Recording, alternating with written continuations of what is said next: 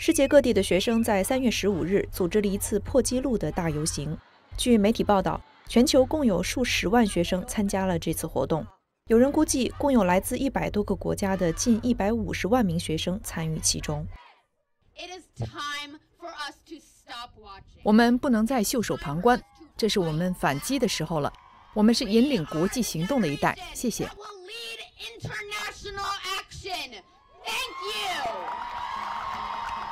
乔治梅森大学的研究员帕特里夏莫尔登说：“年轻人对气候问题充满热情，不足为奇。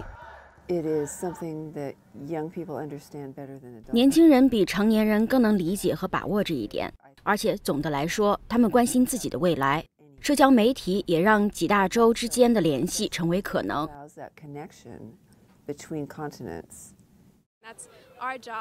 这是我们作为年轻的理想主义者的工作。虽然没有那么多的经验，但这并不意味着我们不知道这些事情。我们做我们的研究，我们关心这些事，我们将改变世界。因为我们是下一代走向工作岗位的人，会进入公共部门等其他部门，这对我们很重要。正如人们常说的，这是我们的未来。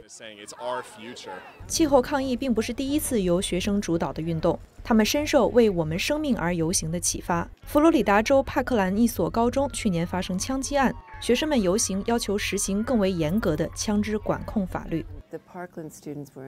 帕克兰的学生们清楚地表达了诉求。他们组织的方式告诉人们，这种方式是可行的。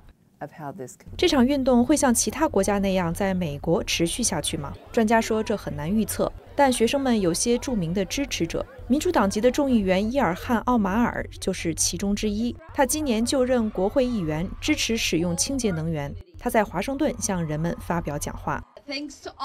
感谢所有决定今天为自己的未来而到场的年轻人。感谢每一位为人们的未来而到场的成年人。前总统候选人希拉里·克林顿和好莱坞演员莱奥纳多·迪卡普里奥也表示支持。迪卡普里奥还几次三番表达了自己的支持。现在的问题是，大多数学生还没有到投票年龄，他们最终是否会对全球政治产生真正的影响，尚不得而知。美国之音梅尔格伦，华盛顿报道。